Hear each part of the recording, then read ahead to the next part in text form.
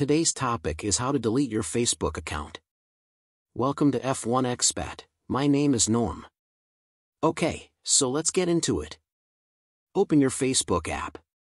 Select the three bars at the top right of the screen. The menu page will open. Select the gear icon on the top right of the screen. The Settings and Privacy screen will open.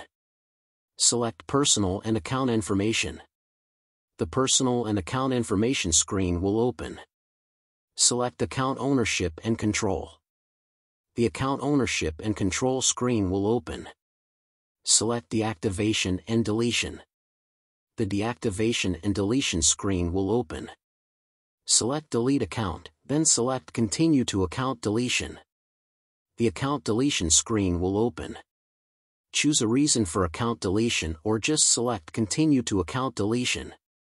The Permanently Delete Account screen will open. Here you have the option to deactivate or manage your Facebook content. When you're done, select Delete Account. The Confirm Deletion screen will open.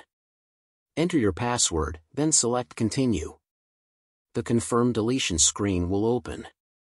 Select Delete Account. Your account will be deleted in 30 days. You will be able to reactivate it within that time if you change your mind. Thank you for watching my channel. If you liked this video, please give me a thumbs up and subscribe to my channel.